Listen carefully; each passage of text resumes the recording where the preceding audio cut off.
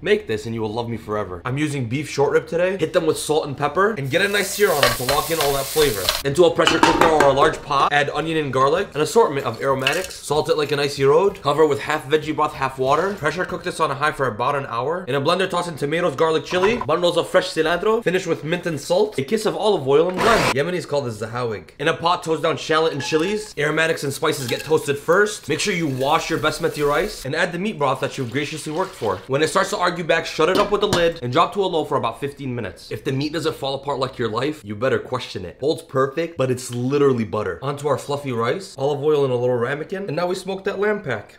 Pinch a little rice on there, and as always, now bismillah. That is unbelievable. Wow. This is my favorite part of this recipe.